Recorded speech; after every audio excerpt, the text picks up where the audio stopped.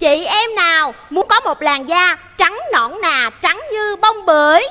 Thì dùng sản phẩm body kích và tắm trắng nha mọi người Đầu tiên là dùng tắm trắng ha. Tắm trắng nhà như là ba gói nha mọi người. Tính ra một lần tắm chưa tới 50 ngàn. Thêm cái cái tắm trắng nhà như nó ngộ lắm. Khách dùng xong thích lắm. Tại sao? Nó không giống như những loại tắm trắng khác là nó tạo một cái bệt trắng Mà là trắng theo cấp độ da. Mọi người coi nè. Sau 15 phút trên da nam khô sần. Trời ơi, mọi người tắm ra đầu tiên thấy da nam mịn rõ đúng không? Và lên tông rất là tự nhiên luôn đó mọi người. Chưa đâu. Ngoài cái việc là tắm trắng ra, Em còn có một cái công thức giúp cho chị em nâng tông da gấp 3-4 lần những sản phẩm thông thường. Và đó là gì thì mời chị em mình coi nha.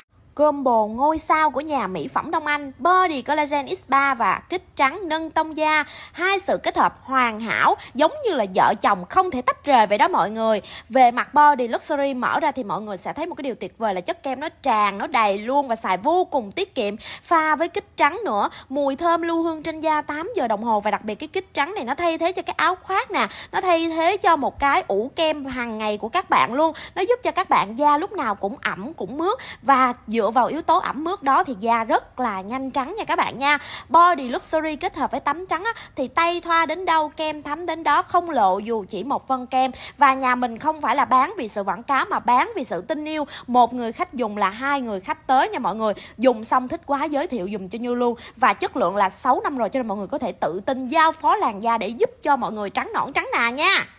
Chần chờ gì nữa? Muốn đẹp, muốn xinh, chồng yêu, chồng quý, Chốt ngay cơm bồ này cho em. Và em bán 6 năm rồi, chưa lỗi với một khách nào Và chắc chắn em sẽ không lỗi nhịp với tất cả các bạn. Ok, Không chắn em trả tiền lại, Thối tiền cho mấy bà luôn.